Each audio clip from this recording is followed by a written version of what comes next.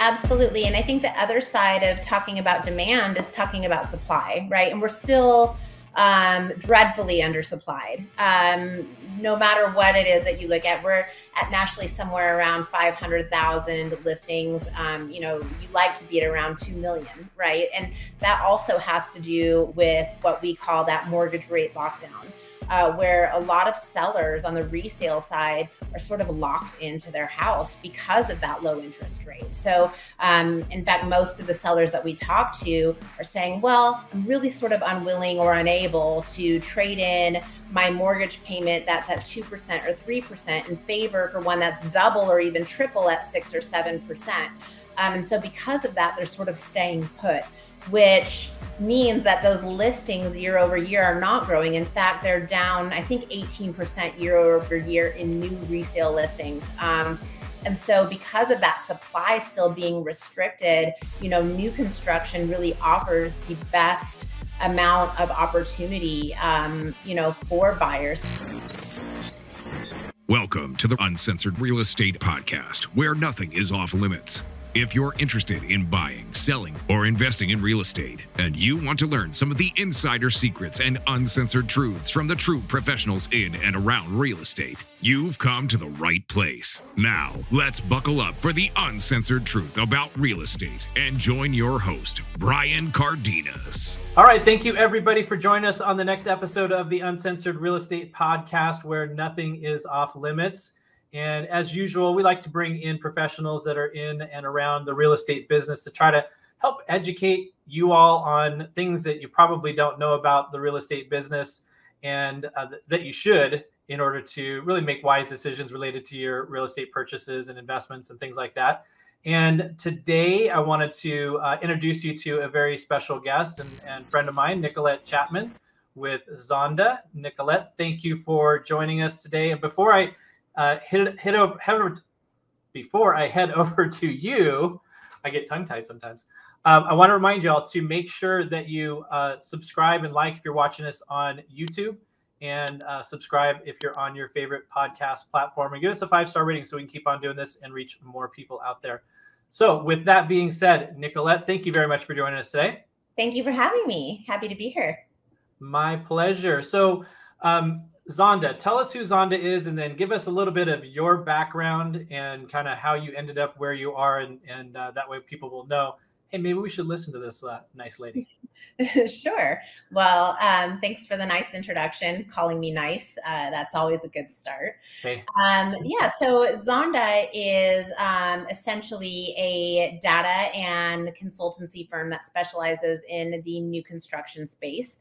Um, where I sort of fit in is I run our mortgage, mortgage vertical nationally, um, where we really work to help lenders uncover opportunities to work with builders. Uh, we help um, lenders understand how to better navigate the market for their buyers so that they can understand um, you know, where they can sort of leverage, um, maybe it's seller concessions or if it's uh, builder incentives. Um, in this case, um, you know, best ways to sort of be successful in the market. Um, interestingly enough, I came to Zonda having been a customer first, um, have spent the better part of uh, 22 years in the industry, most recently having been tasked with uh, starting a national builder division from the ground up and really leveraged everything that Zonda had in order to be able to do that quickly and scalably. And I joke that I did so uh, so aggressively that they actually recruited me to come over and run the platform for them at Zonda. So been here about three years now, a little over three years, and I love it. Um, obviously, there's no better place to work than a place where um, you're such an advocate for what it is that they do. Um, you know, it's was an organic step for me. Yeah, I mean, using the product and seeing the benefits of it makes it really easy to step in and, and promote that to other people, I'm sure. Definitely, for sure. So you your background, you've been in the the title and escrow side of things, you've been in the mortgage side of things, uh, you're a consumer. Um, so I'm going to ha- have you put on your consumer hat with all that other knowledge that you've got there. And um, talk to me about what is the builder market like for consumers right now because you know people have options available that they didn't have like six months ago um, in the resale market, you know, with a, a, an already existing home. Tell us what that looks like right now. What is the market like for consumers with builders? So it is a great time to buy if you are looking to purchase new constructions for a couple of different reasons. Um, number one, and I want to start out by saying, I think um, you know, there's so many buyers, you know, some statistics say up to 90, 95% of buyers who are actually just sort of on pause. They're sitting on the sideline waiting for rates to drop or waiting, waiting for sort of it to become more affordable.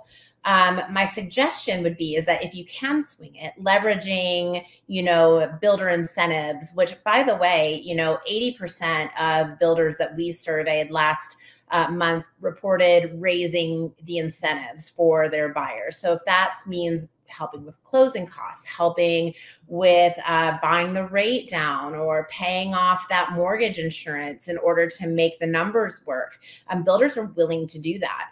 Um, but going back to my point about it being a really great time to buy, in addition to those wonderful incentives, is that you have bargaining power right now. Um, you're able to negotiate. Whereas if you go back to, you know, 2021 or early parts of 2022, when the market was just so unhealthy and so difficult in order to be able to get a, a contract accepted um, you know, you have some flexibility now to call to say, no, I do want these concessions and I do want you to buy the rate down. Um, and so even though you are buying your initial house at a little bit of a higher rate, maybe high sixes, 7%, um, the fact is, is that you're getting a great deal on the house itself. And that way, when rates do go down, you're going to be in a great position to regain equity right away. Um, because trust me, those 95% of buyers that are sitting on the on the sideline are all going to be back driving those prices back up, bidding wars and the things that we saw before. So um, get in now, and then you can always refinance later. But obviously, each family's situation is different. But I always say if the only thing that is making you worried is the rate know that is temporary. Right now is a great time to be able to negotiate a deal on a house.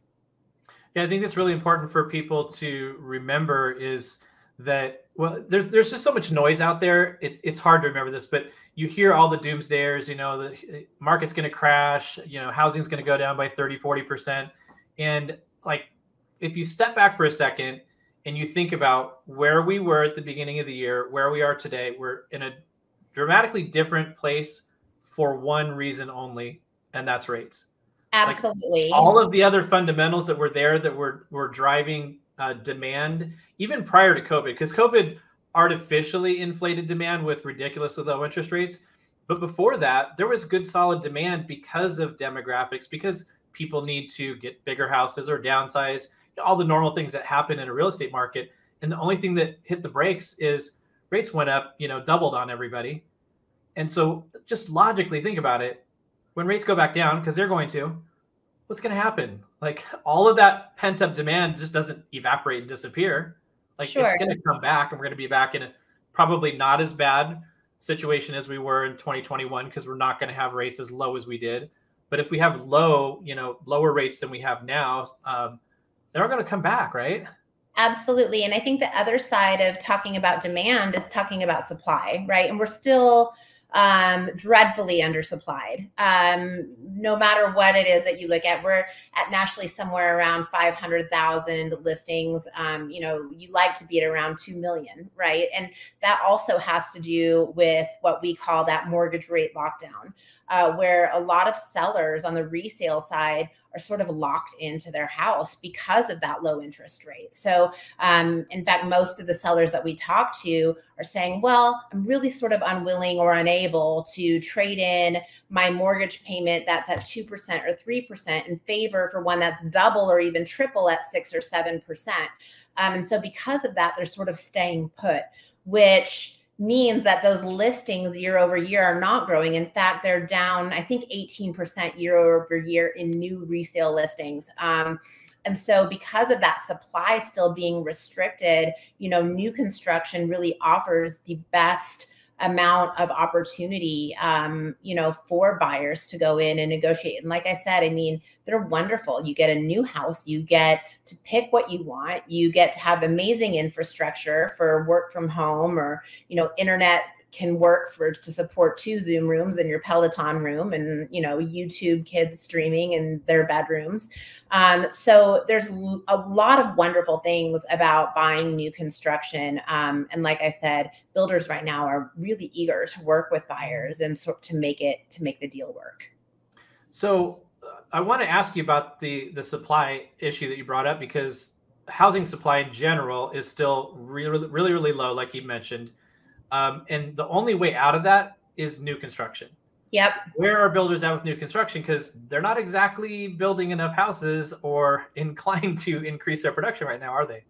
Yeah, you're right. You know, I think a lot of the inventory supply is actually, um, you know, not finished, right? So they're sort of slowing uh, their build, and for good reason, obviously. I mean, they have numbers to protect as well. They don't certainly want to be investing in building all of these homes and if there's not enough buyers they don't want to be stuck on that product right um, but it brings up this sort of interesting yin and yang of tug and pull and you know how much is too much supply um, because the reality is is we are still hugely undersupplied and that goes back to you know the last housing crash um, you know that occurred in you know 2010 um, builders just are still catching up with that yeah, and so what happened back then, just so that people understand, because we always hear about, you know, well, the market crashed back in 2008, 2009. You know, this this is going to happen again because there was a bubble then, there's a bubble now, and so they think that there's similarities. There really wasn't. Um, tell our, our listeners what housing supply looked like back then relative to the demand uh, that they had back then. Sure. You know, I don't have the numbers in front of me, but obviously, I mean, there were so many houses on the market. Um, and so, really, that is what causes a crash, right? But without oversupply, you're never going to have a crash. Um, it's just basic economics of supply and demand, right? When you have a lot of demand, then obviously it drives prices up. But um, you know, we're not oversupplied, which is what typically would drive prices down. Um, we're just sort of in this interesting, you know, like I said, mortgage rate lockdown where people are like, listen, I have equity in my house. I've got, you know, money in the bank. The financials are actually really good um, nationally. In fact, you know, that's why the Fed keeps having to raise rates, right? Is because inflation is just still not really budging the way that we need it to um, the, the, the economy's been fairly, you know, strong still.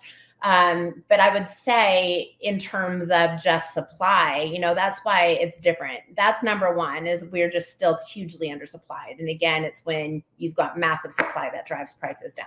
Um, but number two is we're talking about different types of loans. You know, when QM came out, we're talking about or qualified mortgages. The people that have these mortgages right now are actually people who are qualified buyers, right? We're not dealing with negam loans or interest only loans or floods of adjustable rate mortgages um, you know, people are in a good position to be able to stay in their homes and they're not forced to sell. The people who are forced to sell for whatever reasons that some of that you mentioned earlier of maybe a divorce or growing a family or maybe a death in the family, like those are reasons that people are selling. But for the vast majority of people, you know, they're sort of deciding, well, time to fall in love with my house because I'm not going anywhere for any time being. Yeah. Yeah, and I think with um, you know the the supply and the demand imbalance that we have right now, we had a complete imbalance back in 2008 too, and it was just way oversupplied. I mean, it was actually I think in 2005, if I'm not mistaken, was the highest number of new construction that we ever had in history. It was and wild. prior, like right around that time, and just right after that, the new new household formations like dropped off a cliff and yet new construction kept going up. And so it just it oversupplied homes, like you mentioned. Anybody could get a home practically. I would like to say, you know, if you could fog a mirror, you could get a, a, a loan back then. And it's definitely not. yeah, definitely, it's not that way now. And uh, is there prospects for builders to be able to pick up the the supply of homes that they're building? Because I know obviously with all the the lockdowns and the supply chain difficulties, it was a challenge. No matter how much they wanted to build, there was just a limit to capacity on what they could do. It feels like to me, from not being in the industry, that the the limitation and constraints on the capacity has lessened. Like they should be able to build more, but now with interest rate hikes, now they're nervous because of that. Like, are they yeah. looking far enough in advance to understand, hey, this is going to turn, whether it's in six months, 12 months, two years? Yeah, you know, there's, you know, they're sort of pausing a little bit, right? I mean, there's an intentional slowing, I think, of the actual build. Now, are they absolutely stopping? No. And in some markets, I mean, I would say the story is very different regionally. Um, you know, in markets in the southeast, um, you know, we are still seeing, you know, really, really low, low supply. Um, whereas in Phoenix, you know, that is one of the markets that actually has a higher amount of supply than some of the others across the country. Um, but overwhelmingly, we're just not seeing these this panic selling that I think a lot of people thought would occur. Um, and so, but going back to your point, um, you know, with new construction, you know, every builder is different in what their approach is. Some are more bullish than others. Um, you know, but certainly your big builders, you know, they still have to sell homes. They are publicly owned companies and have numbers to report. So, you know, they are many times more willing to negotiate um, or you know bring a price down or make it really attractive particularly if you're able to um, buy around the end of their fiscals because uh, they've obviously want to make those major pushes in order to uh, you know get those numbers as strong as they can make them now when a consumer is going out and considering um, buying a new build um, what advice would you give them in terms of like starting their search should they go out there and start running around to different new build communities? Should they get in touch with a real estate agent? Like, what's the best thing for them to do as a consumer? Yeah, you know, I think you uh, work with a loan officer um, and a um, a realtor that are familiar with new construction um, and make sure that you're represented. Um, I always say they're going to negotiate the best that they can for you. Um, so I would say just make sure that you have a great team behind you um, as you go in and really sort of uncover um, what's available because every builder is different of what they're able to offer and what they're willing to offer. Um, and having a professional on your side, whether that's a real estate agent and a loan officer that are good at new construction, I think is really important before you just go in and start visiting, you know, new home communities. Yeah, I think the consumers sometimes they don't realize that um, and it's the same whether it's new construction or a resale home. Like the buyer's representative is not paid by the buyer directly. I mean, the sellers and the builders are paying yeah. them, and they, they're if they go into a community without a real estate agent, they have no representation. The sales representative there is representing the builder. They'll facilitate the process for them, but they're not saving themselves any money by not having a representative. Correct it could actually cost them money, right? I mean, because you know exactly, you know, how to help them negotiate the best deal and what, you know, is actually available, um, you know, in order to make it more affordable for them. Yeah, and there wasn't. I mean, I guess the experience that people have had a year ago, there wasn't a whole lot of negotiating. Like builders no, are in a position to say, no "This is what it is. Take it or leave it." Now it's like you get to negotiate, which is pretty unusual with builders yeah it's a great that's what i said it's a great time to go in there and um, you know make it strike a deal and knowing that that interest rate is really temporary um, you know if you again if every situation's different but if you can afford to buy right now there are a lot of deals to be had. You want to buy a house but high interest rates have got you down? Take the rate challenge and send us a verifiable loan estimate from another lender, and we'll beat it and pay for your appraisal up to $600. Here at Give Mortgage, being powered by U Mortgage allows us to provide you with unmatched speed and efficiency and the best rates and fees in the market, all while delivering you the concierge level service you deserve. We want you to have an experience getting a mortgage that you'll never forget, and not because you got put through a meat grinder to get it. At Give Mortgage, we give great advice we give the best rates and we give back to charity. Visit us at www.give-mortgage.com or call us at 480 331 4684 to schedule a free consultation to see how we can help. Yeah, I think something that uh, the consumer doesn't realize either is, and let me back up for a second. Back in 2020, 2021, if you went in and you got under contract on a new build, first of all, congratulations. That was not easy to do.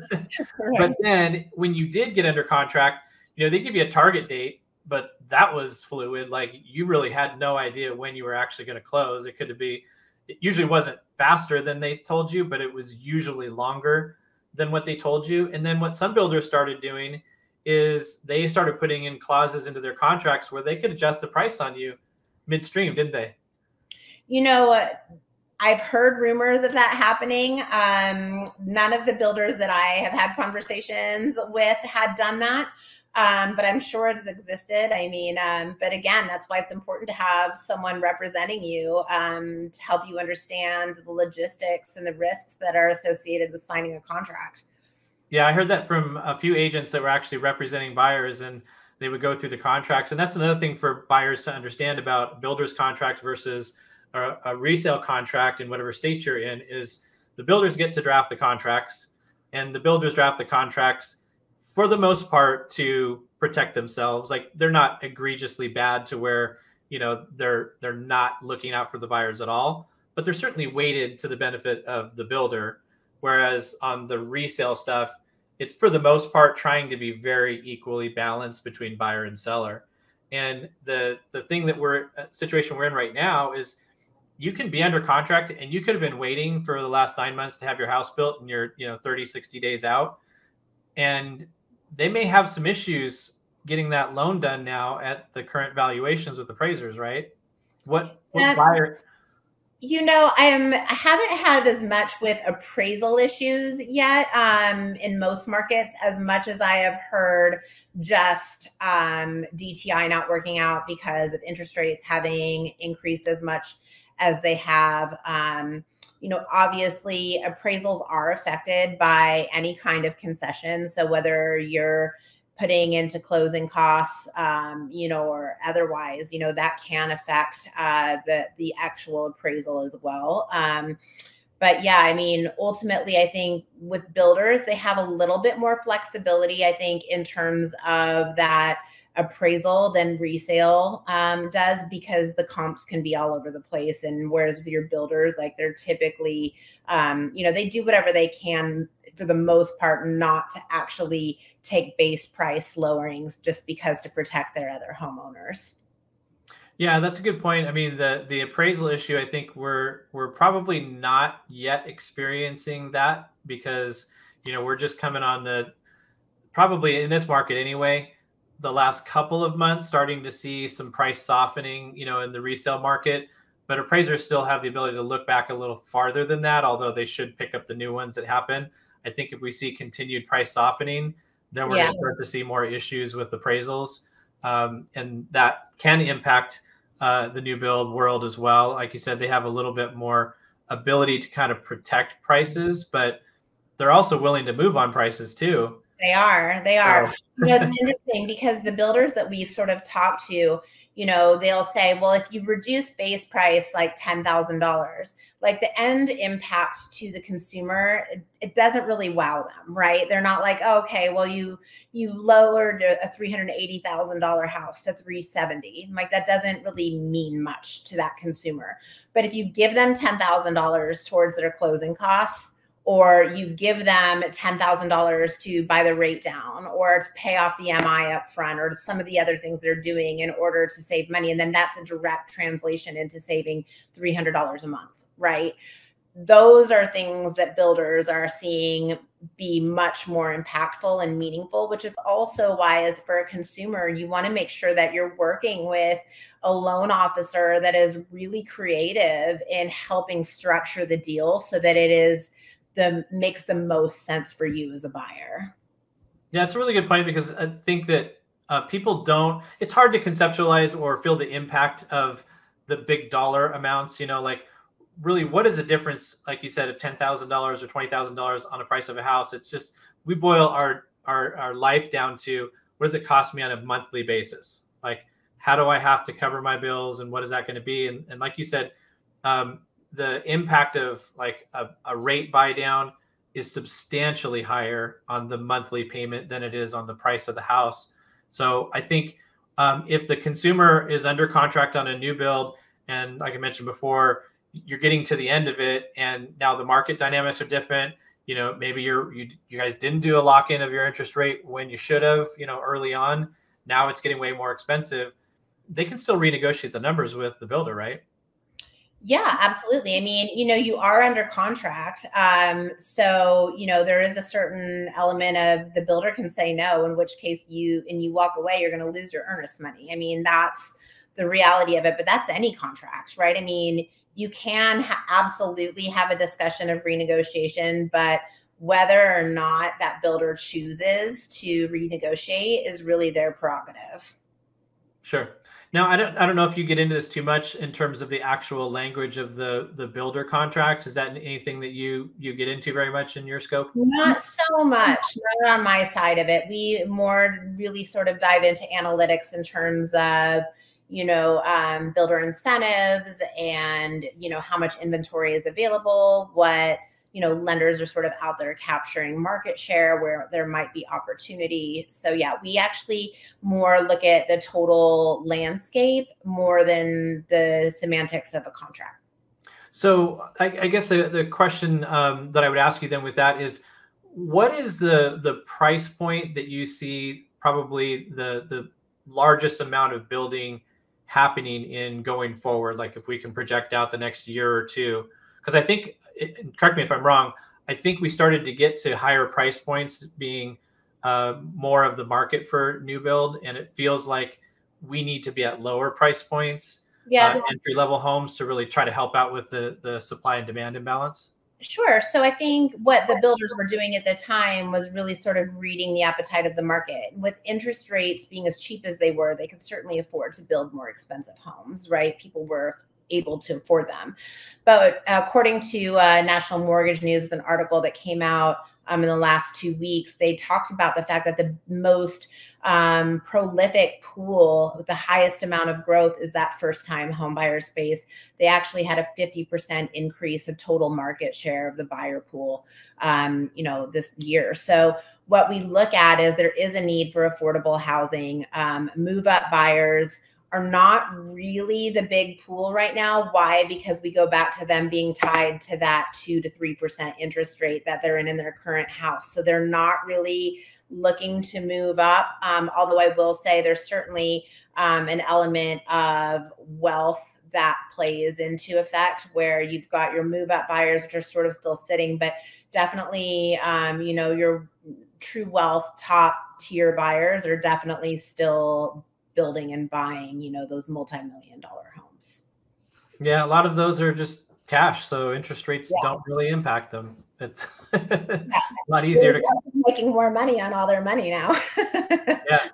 Well, and and the the the whole dynamic that that gets lost in the conversation a lot of times with just the general consumer is, you know, people are typically um, better off on the income side of things now than they have been in the last couple of years. I mean, the increases in in income. I think I saw a stat around if somebody changes a job, they're they're typically getting about a 16% increase in their pay. If they stay in their their same job, I think it was in the seven to nine percent range uh, of increase in pay, and so that it helps um, accommodate a little bit of a higher payment based on those higher interest rates. But like for improving the the supply and demand imbalance, if you've got a move up buyer, um, you're not really doing anything for supply and demand. I mean, they're they're selling a house, they're buying another one. It's it's a wash.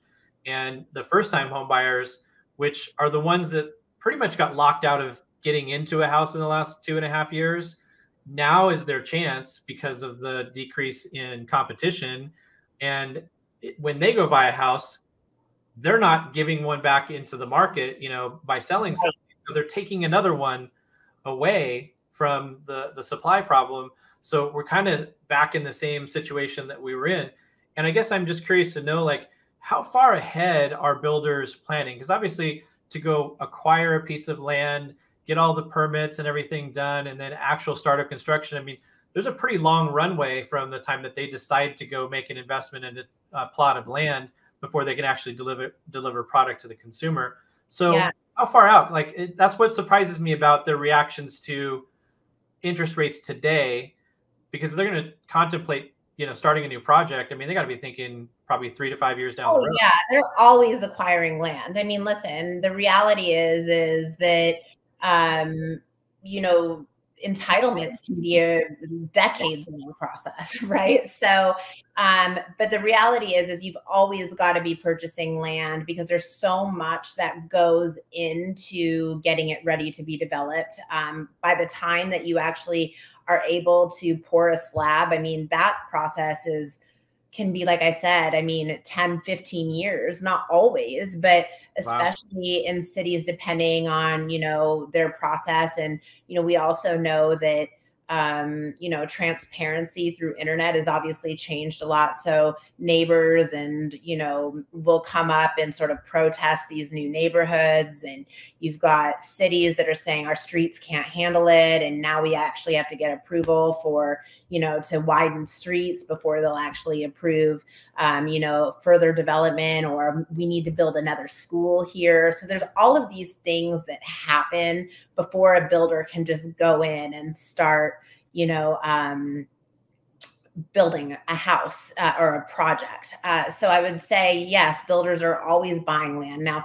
The difference is, is like now that that land is available and it's ready, we have vacant developed lots that we are, you know, approved to be able to start building on. But how quickly do we want to start building on them in this particular market? So we do have a lot of vacant developed lot supply that is available. But I will say that I think the sort of general food for thought or sort of thought process on it would be you know let's sort of make sure that we're not going to be stuck with a lot of quick move in inventory um, because the appetite of the market just isn't there yet. So one of the trends that that we started to see last year, and tell me if it's if it stopped or continued, is builders building uh, to rent out uh, homes instead of to sell. Is that something that still there? Yep, it's still there. It's still there. Our company definitely um, works with several builders in that space. Um, and there is definitely a market for it. Remember, it all goes back to supply, right? So we're still undersupplied and we still have a big population. People need shelter, right? So whether if the market's tough right now for people to be able to buy, well, then they're going to need a place to rent right so that's the reality is um, you know build for rent is still alive and well and um, something that many organizations continue to invest in. So I think a, a potential, um, you know, real estate investor, not on that scale, but just an individual that's thinking about buying some investment properties. Like I just had somebody back out of a purchase of a, a townhouse in a very affordable price range. Uh, because between the start of the contract and you know the end of the escrow, which was only like 30 days, started kind of freaking out about the market and you know i don't like this idea uh, the interest rate i can't i can't take this interest rate you know and i said well you know you're going to be renting this out right like we have a housing supply problem like if people can't afford to buy which is kind of what you're expressing concern about buying at a certain interest rate they're going to have to rent right like so right. they're going to have to be somewhere yeah so isn't it a good time still to buy investment properties for real estate investors yeah, I mean, honestly, I think it'll obviously. I, I tend to hesitate a little bit because I say it's yes, it's a great time, but I also want to have some um, sort of understanding um, for people who maybe just feel like it's too tight. You know, I would say don't overextend yourself. If you can't cover it, if you don't have a renter for XYZ or they don't pay the rent because something happens in the economy, you know, make sure that you're putting yourself in a place to succeed. If you can and you're and you've got enough of a cushion back there, it's a great time to be able, you know, to uh, still have a property to rent out for sure. You've, you've been trained by the attorneys well, huh? You've got those disclaimers built in there. I do. I have them. I do. I always say it depends on the individual, and even with eh, buyers too. Like I said, I mean, if you can swing it and it makes sense, you know, it's a great time to buy. You can get some great deals out there. Right now. Yeah. No, I mean you're you're you're right, 100%. I mean, you can't put yourself in a position where it's going to be a bad situation. We never want to do that. I think the thing that I try to remind people of is, and in this particular person's situation, there was plenty of uh, cash flow. there was yeah. there was really no uh, fundamental reason to back out other than just fear, and that's where to me it's like don't let fear paralyze you. Absolutely. You know, look at the numbers. If the numbers make sense, you know, if the cash flow is going to be good, or if your personal cash flow is solid, and you've got um, you know a job or a business that is going to still have a need no matter what happens in the economy like factor all that stuff in of course. Right but when you do factor it all in and all the numbers and everything makes sense like trust it's that. great, right. It's a great place. I mean it's a great investment. I mean i think we look at historically speaking in real estate um, you know i remember back in the crash with in 2000 you know 10 and everyone was like oh my gosh you know i'm getting rid of this house because it's never going to be worth what i paid for it right? Oh, yeah. and now we're 10 years later and those houses that people said you know oh it's 700000 it's worth 400000 today are now worth 1.2 million right? So i think ultimately real estate historically has been a really good investment for the long term play um, you know, I think you always want to look as well at what your long term, short term goals are. Um, you know, if you're looking to maybe flip a house in the next, you know, 30 to 60 days, I would question of whether that's a good idea. That would make me afraid. right. But I think, you know, if you're looking at an investment property or a second home, I mean, like I said, I mean, these st- historically are outstanding investments. Um, especially when we know the stock market's been a little bit touch and go. So, um, if you do have money to invest, I think, like I said, in the long term, um, historically speaking, real estate is a great investment. Yeah, I mean, lately the stock market has been mostly go, not like go run away from it. Yeah. um, yeah. One, one, last thing I want to touch on though, with related to the the builder side of things, is um, speaking of all of the concessions and accommodations and things that are available, um, one of the things that we've always had clients have a hard time with is these um, concessions that builders will give if the buyers use their selected title company or their selected lender. Um, tell us a little bit more about is that is that stance that they take softening up? I mean, is there the ability for buyers still to get those and use their preferred um, lender usually because I don't think they care too much about the title company to be honest. Yeah. Well, actually, it's interesting. The title company actually are the, they're the one that they don't usually want to give up on. Um, mostly because it involves the closing, right? I mean, they yeah. want it's pretty cut and dry. You know, they tend to not want to move title companies. Um, yeah. But on the lender side of it, um, we're definitely seeing um, a lot more flexibility. I would, I think the last number was somewhere between 47 and 52 percent of um, all builders out there had an incentive that was directly tied to their preferred lender, which means that half of them don't. So I would use that as part of your leverage um, as you're sort of discussing, well, can I use my lender? Because there are other builders out there that don't require me to use a preferred lender. Um, but certainly, I think. Um, you know, builders are willing uh, to sort of listen. Um, you know, much i would say at a higher rate than what they typically would especially the big ones that have their own mortgage company yeah and that's something that you have to look at the numbers and we would we would do the same thing you know because you don't always get the best deal from the builder's lender. I mean, you typically don't, is the truth right. of it. But if they're giving you, you know, ten thousand dollars, you know, even somebody like us as a broker who we can typically get better rates than most of those mortgage companies, ten thousand dollars is ten thousand dollars, you know, and it's sometimes very difficult to overcome. And so um, having the right representation, like you were talking about before, I think is really critical because if you've got a real estate agent who's working on your behalf and they can really help to drive that negotiation, you're going to have an easier time of protecting yourself. Because I've I've had realtors tell me in the past where you know they have the I actually had it um, where buyer was using the builder's lender, using the builder's title company, et cetera, et cetera.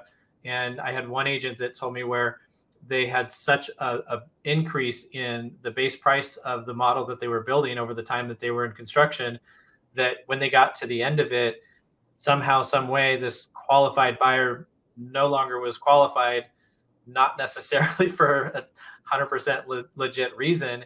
And the builder was happy to let him go and refund his earnest deposit because now they could turn around and sell that property at a much higher right. price.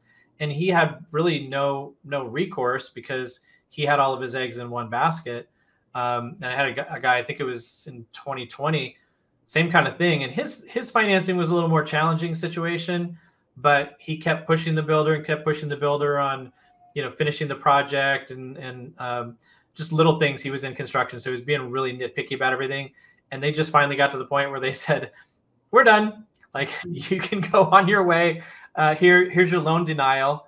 You know, surprisingly, the, the loan denial showed up, so they were justifying the way to get you know wash their hands of him. And that's where we try to tell people, like, yeah, you got to look at the numbers. You can't just blindly go with your lender if you're giving up, you know, ten thousand dollars or five thousand dollars, but also know the risk that you take when you do put all of your eggs in one basket and, and the builder holds control over everything. Yeah. And there are a lot of um, builders as well that will say, like, if because the builder's loan, a builder's mortgage company typically doesn't have as much flexibility or range in those loan programs that are available. Um, so, you know, many times in those cases, a builder might say, okay, well, you've been declined by our mortgage company, but if you go to someone that we can recommend, then we'll still, you know, release those incentives for you if they can get it done. So every builder is different and every mortgage company is different. I always encourage people to really, especially when talking to builders, don't be afraid to reach out, um, you know, to another loan officer um, who is you know familiar with doing new construction because um, many times they'll be able to negotiate better on your behalf get you a lower rate um, and sometimes even still have the builder be able to give you that incentive money in addition to you know lowering that rate. Yeah. I think it's a really good um, piece of advice that that we've been talking about a lot is for the consumer to understand that um, even though the process is is set up to be very um, systematic and like you come in, you get under contract, you work with their salesperson, you use their people, and you you finish up as it was. Everything is negotiable at this point. So, yeah. you know, everything can be on the table. Make sure that you find the people who can help you out and look out for your interests. Don't assume that any seller, whether it's a builder or a, a traditional seller, is looking out for your interests. You've got to be in charge of things. You've got to have the right people on your team and um, and then you know negotiate the best deal for yourself. Absolutely and i would say that's key to what we're dealing with in this particular market is don't be afraid for, to ask for things right? Um, because certainly builders want to be able to still build homes and move product and um, you know keep housing is such an important part of our economy as well so we want to keep sure keep things moving the best that we can so don't be afraid uh, you know to negotiate Great message to finish up on. Well, I wanted to thank you again very much for joining us here today, Nicollette. Thanks for having me. It was great to catch up. Yeah, for sure. So, thank you guys for joining us again on the Uncensored Real Estate Podcast. Make sure that you, again, subscribe and check back with us next week for the next episode. Everybody, take care. Thanks very much.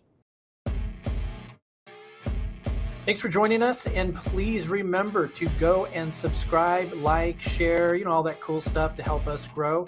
And come back to listen to our next episode. Until then, go out and live life uncensored. Thanks for listening to the Uncensored Real Estate Podcast. Don't forget to help us out and subscribe. Follow and give us a five star rating on your favorite podcast platform. And check us out on YouTube for the full video podcast. If you want more information on any of the topics discussed on today's episode, email us at uncensoredrealestatepodcast at gmail.com or give the Cardenas Mortgage Team a call at 480 331 4684.